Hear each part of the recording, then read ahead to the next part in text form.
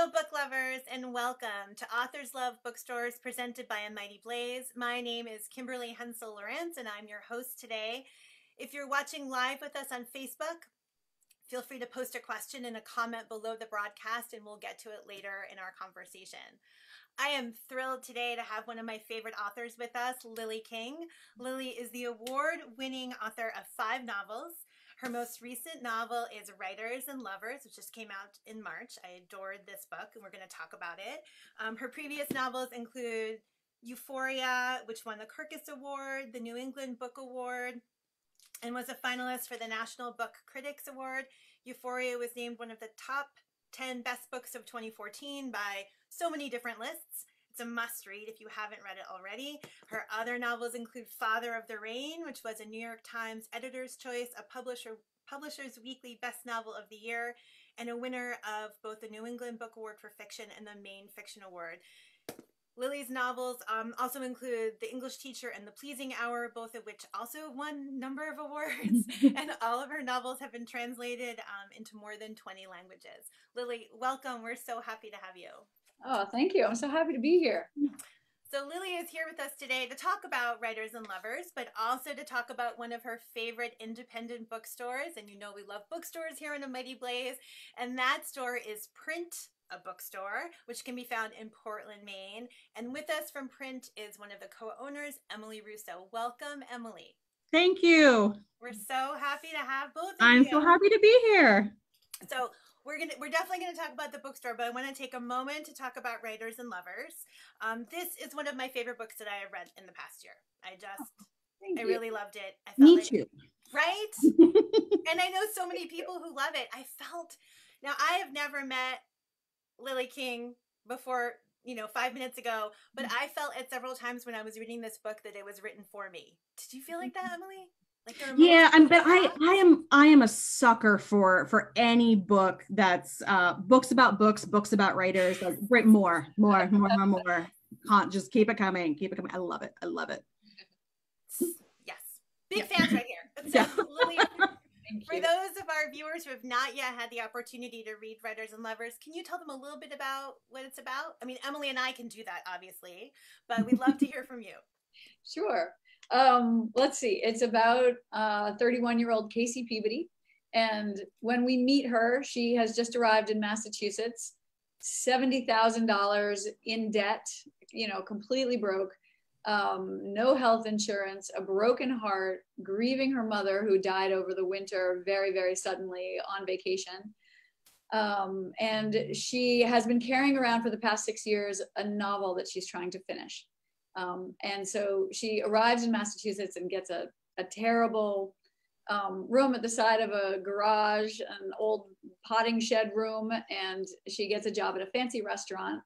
Um, and then, you know, we sort of follow her as she struggles to to to figure out the rest of her life. You know, she's really come to that uh, point in her young adulthood where it just seems like there's a big abyss out in front of her and she's trying to get over it to the rest of her life and she doesn't really know how. And so the novel is, is really kind of about that existential moment in your life when you're trying to figure out how do i be a real grown-up you know and and pursue my dreams not let go of them but also support myself and also you know maybe try to find a partner you know she meets these two guys and they make her life even messier and more confusing and so you know the novel is just kind of her getting through that time in her life would you guys say that was the right um, description Yeah. Yes, the fans agree. Yes, uh, I think it's it's at this it's this great story of a woman at a crossroads.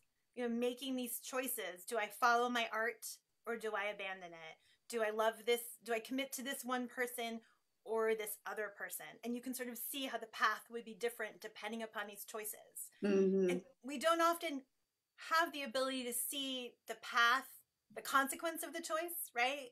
But it's so clear in Casey's life. She has these opportunities, and who will she become? It's very, it's a great read. Mm, thank you And viewers can purchase your book from Print a Bookstore, which is a perfect segue into talking about your store, Emily. Mm. So you are based in Portland, Maine. Now, mm-hmm.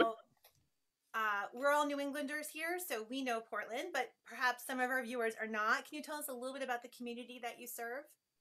Sure. Um, so I am, I grew up in Waterville, Maine, um, which is about an hour and a half north. So I'm still relatively new to Portland. I left Maine, um, you know, Dakota College in Pennsylvania, and then promptly ended up in in Brooklyn, um, and only moved to Portland about five years ago. So Lily can correct any misstatements that I that I make. And I would say, you know, up until about 10, 15 years ago, you know, Portland was a small city. Um, certainly um, residents, you know, artists, fishermen. Um, it was a predominantly um, middle class, lower middle class community. And over the past 15 years, it's really changed. Um, a lot of people from Brooklyn and Boston who can no longer afford the city are moving up here. Um, but also in the past 10 or 15 years, there has been um, a lot of new arrivals coming, um, immigrants coming from, um, from Africa and who have settled in, in Portland. So Portland's also becoming a very diverse community, which is, which is fantastic. Um, we are not, and Lily, again, correct me if I'm wrong, we're not officially a sanctuary city, but we are certainly one that, that acts that way um, as as best we as best we can. Um, a lot of retirees also moving up into the community, so it's it's very different from from what it was um, 15 years ago, and in both really exciting ways and also in some in some pretty challenging ways. And your bookstore has been open for about four years. Right. Yes, we'll be celebrating our four year anniversary in uh, in November. And wow. what made you want to open a bookstore? Uh, well, oh God, this could be like an, uh, this could answer could take up the entire show. Um, no, I, you know, I've always loved bookstores and, um, I graduated from college and, and immediately moved to, to Brooklyn and ended up on the agenting side of things and didn't really, it just wasn't for me. I didn't really like it. Um, I, I think there are, you know, agents really love the thrill of the hunt. They want to find the thing that they love 110%. Um, and I hate saying no to people. I really felt like I was spending my day rejecting things and I hated it. And I kept going back to the idea of, of working in a bookstore. And I moved up to be with my now husband in Western Massachusetts and got a job as an events coordinator um, there. And I got to say yes all the time. And I got to, to put books in people's hands, you know, even if it wasn't something that was you know the top of my list if i thought it was going to be perfect for you then, then then that made my day. And it became pretty clear pretty quickly um, even as i accepted the events coordinator's position at, at, the odyssey that i wanted to do what my boss was doing which was to curate the selection and, and bring in the books and to uh, pick what actually comes into the store. So um, four years later i decided to, to open up my own bookstore. And what's been um, you've had quite a year the past couple months booksellers yeah. have been yes um, complicated unexpected yeah what has been your biggest lesson about book selling in the past uh, just how adaptable you have to be. I mean, I think we've changed our business model probably every what feels like every 72 hours. Um, you know, we, we went, yeah, we went from making the decision to close the doors, not knowing um, what was going to happen in the next two weeks, to um, predominantly moving everything to curbside, and then you know a week curbside pickup that is, and then moving everything.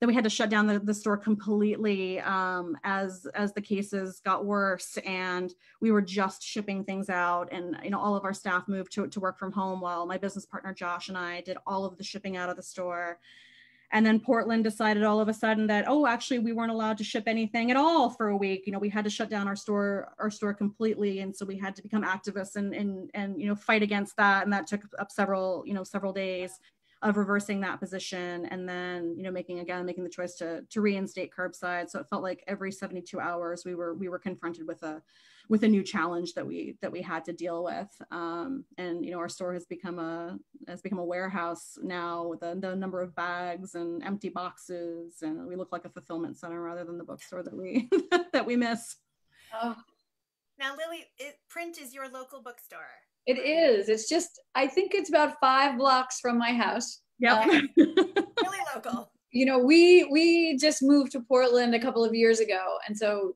um, and Emily was already here, and it's funny because this is the only neighborhood I wanted to live in, and I would say about 35 to 50% of that decision was because there was this fantastic bookstore that I could walk to, you know, I mean, I, that is a dream, you know, just to have a, a bookstore that you can walk to. Um, so I, I, I love I've loved the store from the moment it opened. Um, and I've known Emily before that. And I sort of, I got to see it all unfolding. And then, and then it turns out that she's just a fabulous bookseller and she is a fabulous hirer of other people because everybody who works in that bookstore uh, is so fantastic. And you walk in and they know what you like and they know what to recommend. I mean, you know, uh, honestly, Emily could tell me anything. All she has to do the way she talks about books, you know, uh, I'm like, okay, okay, okay. Get out my credit card, you know. um, and and it's just like I, I just love walking in there. Uh, it, it's just a, a great a great feel and great customers, and it just feels like home, you know, which is what you really want in a bookstore. Mm, that's a great compliment. Feels like home. Yeah. Yeah. Thank you. Yeah.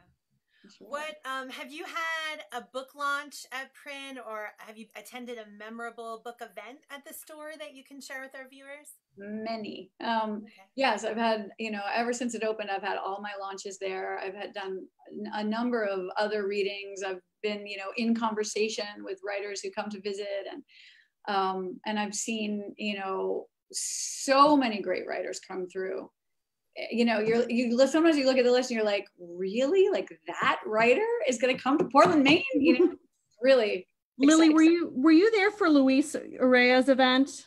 Luis no, alberto urrea's oh i missed that one. So this was i think this is probably my favorite event of ours to date. Luis was in conversation uh, so luis alberto urrea wrote um, the house among other things the house of broken angels and he he did an event at, at print um, and was in conversation with my with my dad richard russo and he ended the evening when my dad asked him to read for a little bit. He didn't read, he performed a chapter from memory. And it was the most extraordinary thing I have ever seen. It was just wonderful. That book is so good. Yeah. And the book, yeah, the book is amazing. Yeah. and the events at print are just, there, you know, there's enough space so that, you know, mm-hmm. a number of people can can be in there, but it's also just super intimate you know no matter where you are you you feel really close to the to the writer and to the mm-hmm. conversation. And there's just always a really great feeling in the room you know and that's something that you notice immediately when you have an event you know you get up to the podium and like you feel this feeling. And and every single event is is different. Um but i feel like at print you know it's always just it just it just feels like everybody's talking, even though not everybody is talking, but it feels like we're having a real conversation, whether, you know, you're the writer or you're in the audience. And, and then, you know, when we have, when they want to have a bigger um, event, you know, there are other venues in town where, where it moves to. And so like, that was one of the very last, I had three events for this book. Yeah. Um, print was the first one and it was at um, Mechanics Hall, which is a few blocks down the road. And um, you know, we could fit a lot of people in there. And, and that was such a, uh, I don't know, I look back so fondly to that night, you know, because I thought I was, you know, about to go on a, on a three month book tour. And in fact, it was a one week book tour. yeah. Yeah. So that was my favorite event. So it was great. But Lily, you've been doing a lot of book tour events via Zoom. Yes, I have. I have. Yeah. It all went virtual and and that has been great. I mean, there's a lot of advantages to that. I was just in the shower like, you know, 20 minutes ago. So great. Same. You're still wet. so definitely it's easier and i imagine you get to go to some places that you might have physically not been able to go to just because of budget or time or whatnot but yeah. definitely the sort of intimacy that you're describing that you are accustomed to at a print event that's harder to do on zoom it is it's not impossible though you mm-hmm. know mm-hmm. i definitely i mean especially i've been visiting book clubs a lot oh. and so if you just have a group of nine or 15 people it at first it felt really weird and uh artificial mm. but you know you get used to things i mean you know we're so adaptable as creatures um that really like I've had some really great times and I click off and I'm in such a good mood. I'm like, I've visited people, you know, like my little extroverted side has gotten a little influx of joy, you know. And I really I've been surprised by that feeling because I really only thought that could happen in person. Hmm. It's good to hear. So you said earlier that Emily can sell you anything. Um, yeah. I hope I'm, par- I'm quoting that correctly. So, can you think of a book that Emily has recommended that you would love our viewers to try out? Or well, I remember. Um, I mean, her one Emily has a tattoo of a book on her arm, and so the way she speaks about this book is incredible. Um, it's Lauren Groff's um, edible. Help me out. delicate edible birds. Delicate edible birds. Sorry, sorry. Delicate. I, I never remember that quite right. But it's a brilliant book of short stories, and and uh, and you know, I I'll be forever grateful to her for recommending that. Excellent. Yeah. Um, we actually just got an audience question for you, Lily, mm-hmm. about a book choice. So, mm-hmm. um, the question is I just finished reading a classic I should have read novel decades ago and never could admit to not reading. Mm. Um, what books do you have on your shelf that you have been meaning to read but just have never gotten around to actually reading? Oh, Emily, I want you to answer that one too, as a book. Uh, yeah. So oh, okay, uh, it feels like such a confession, you know. I, I, it's so funny, but Ulysses, I have not finished Ulysses, um, and that's a that's a big one that weighs on me. Also, Crime and Punishment. Mm. Those those really, I mean, when when when uh, COVID hit, you know, really one of my first thoughts was, I am going to read those goddamn books. tells me. Um, but I haven't. I haven't. You know. So, and I'm now on my. You know, it, it will happen someday. I think. Someday. Emily, what about you? As a bookseller, what's on as a bookseller? Oh gosh, in terms of in terms of classics, um, you know, I've, I've never read Moby Dick, but I, but, you know, I'll call myself out here. I am woefully underread in, in terms of um, authors like James Baldwin and Toni Morrison. I've probably read one of each of of their books. And i and i been working you know double time at the at the store. So i've actually been doing less reading than, I, than i normally um, get a chance to do. Um, but those are certainly two authors that i feel like i am um, woefully under underread and and want to um, read their entire um, collection of work. What are your customers buying what kind of books are popular yeah, well, we kind of started off the pandemic with um, like uh, uh, Hilary, um, or for heaven's sakes, I was about to say Hillary St. John Mandel, Hilary Mantel's um, uh, third book in the Wolf trilogy. Uh, or the Wolf Hall trilogy. Um, so we started off the pandemic with selling again a lot of classics. People wanted to read things like Ulysses and Moby Dick and The Plague, um, mm-hmm. really big classic meaty things that they never got a chance to chance to read and of course now um, with um, everything that's happening with the protests and the Black Lives Matter march, we're selling a lot, thankfully, selling a lot of anti-racism titles. So Dr. Ibram Kendi's Stamped from the Beginning and uh, Iweojama, oh, um, sorry, I'm gonna make sure I get her name pronounced correctly, um, uh, Ijeoma Oluo's uh, So You Want to Talk About Race and um, Jason Reynolds' adaptation of Dr. Ibram Kendi's um, Stamped from the Beginning um, White Fragility, um, White Rage. We're selling um, we're selling a lot of those titles as people try to um, to learn and, and better themselves.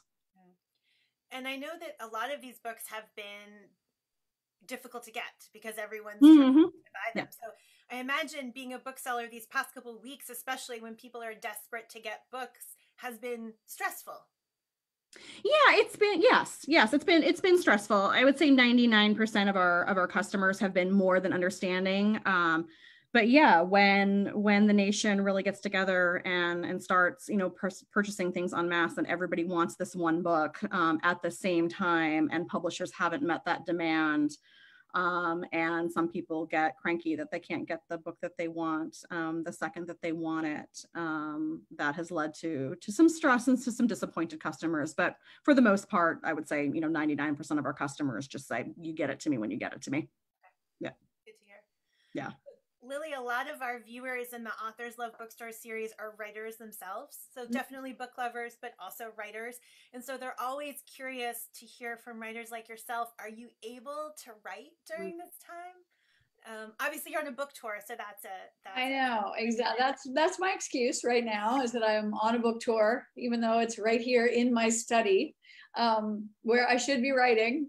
Uh, I have not written very much. I just actually, I just got, found we moved, and I could not find my typewriter, and uh, I suddenly spied it in my husband's office, like in a little corner, and he didn't know it was there, and I didn't know it was there. I was like, there it is. So anyway, I just wrote a scene a couple of days ago on that typewriter, and I'm really, I, it was so great to kind of break the membrane. I, I um, I'm on contract for a collection of short stories, and so I've sent 13 off to my editor, and we're going to talk about them tomorrow.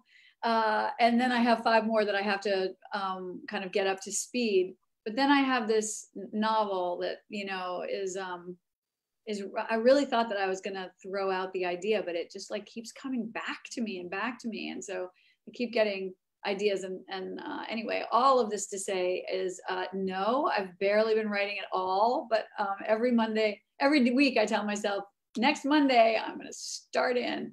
And uh, that uh, the, the whole routine thing that I need hasn't really, really kicked in.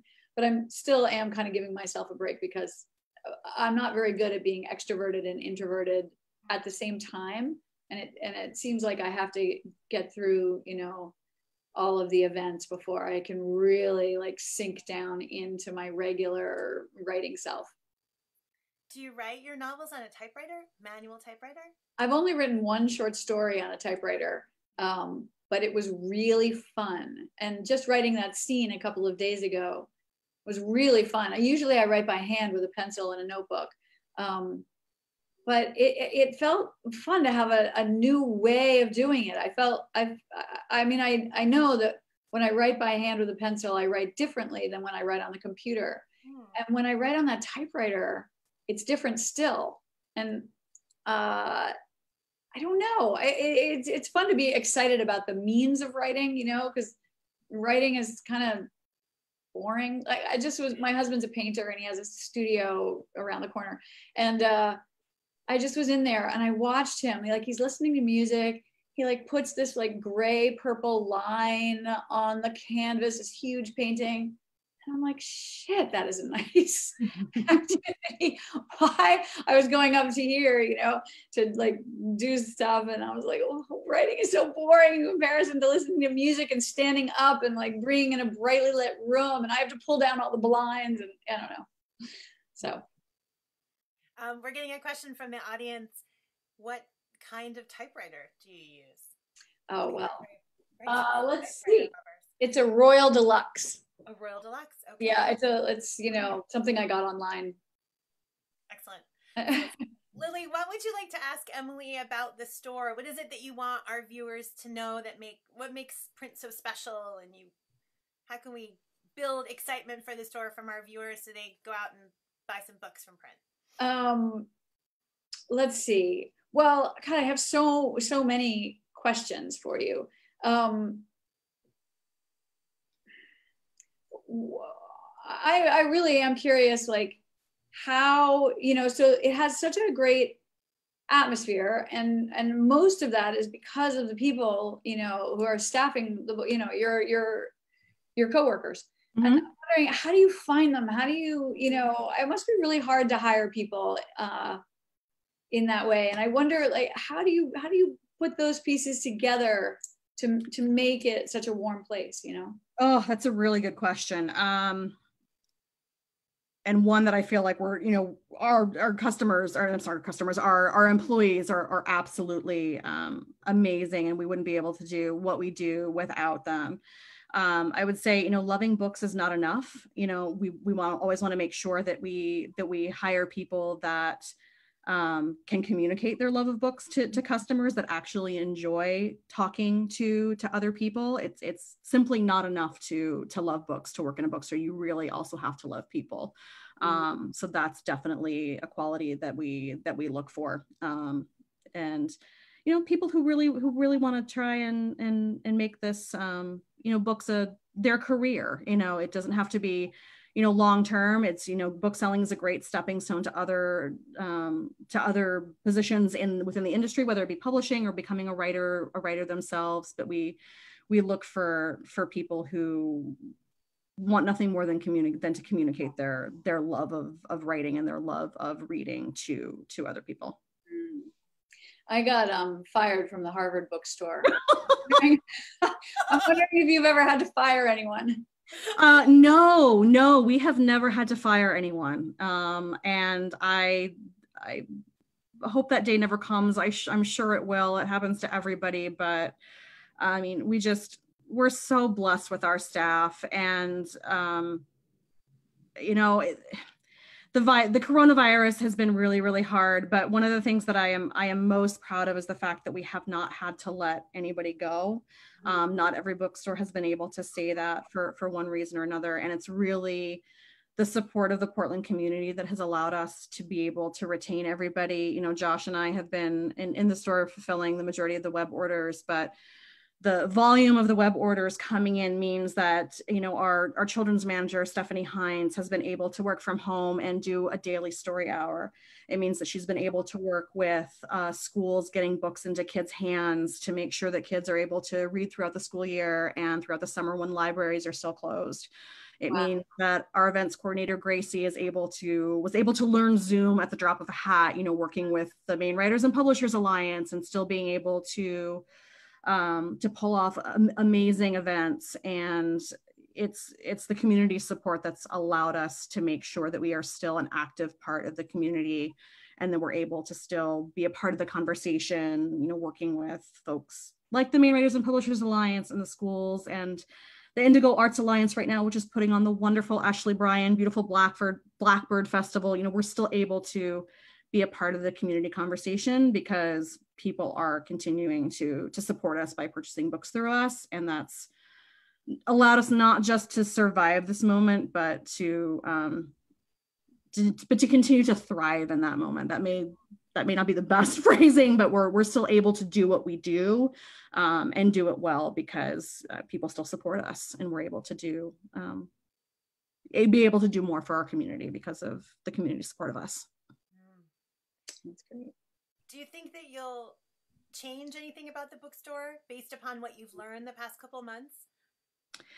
It'll be interesting to see how um, how we continue to work with platforms like Zoom. I think there I think there is a little bit of a Zoom exhaustion.